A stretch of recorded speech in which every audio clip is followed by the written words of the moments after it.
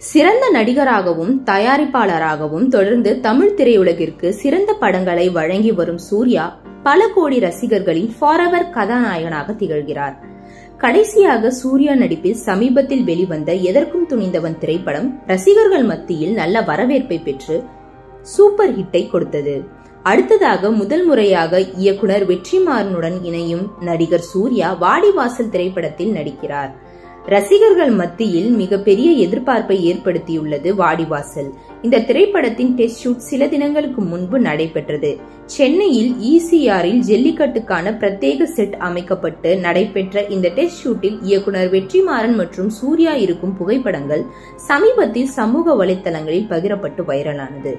இதனையடுத்து இயக்குனர் பாலா இயக்கத்தில் நடிகர் சூர்யா நடிக்கும் புதிய திரைப்படத்தின் படப்பிடிப்பு இன்று பூஜையுடன் தொடங்கியது. பதினெட்டு ஆண்டுகளுக்கு பிறகு நடிகர் சூர்யா மற்றும் இயக்குனர் பாலா கூட்டணியில் உருவாகும் இந்த புதிய திரைப்படத்தை சூர்யா ஜோதிகாவின் டூ டி என்டர்டைன்மெண்ட்ஸ் நிறுவனம் தயாரிக்கிறது.